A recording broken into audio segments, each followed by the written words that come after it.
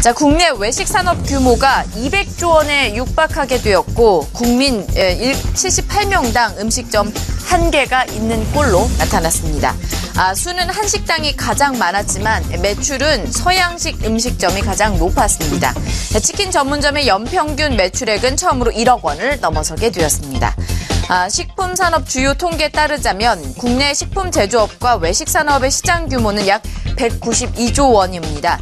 이 중에서도 식품 제조업의 규모는 약 84조 원, 그리고 외식 산업은 108조 원 가량을 차지했습니다.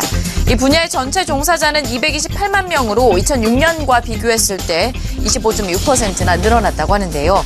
특히 외식업의 시장 규모 그러니까 108조 원은 2005년에는 46조 3천억 원의 두 배 이상으로 커지게 된 셈입니다.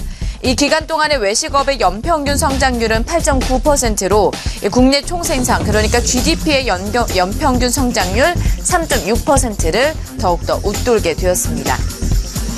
음식 점 수는 66만 개로 집계되면서 전년보다 0.9% 늘어났습니다.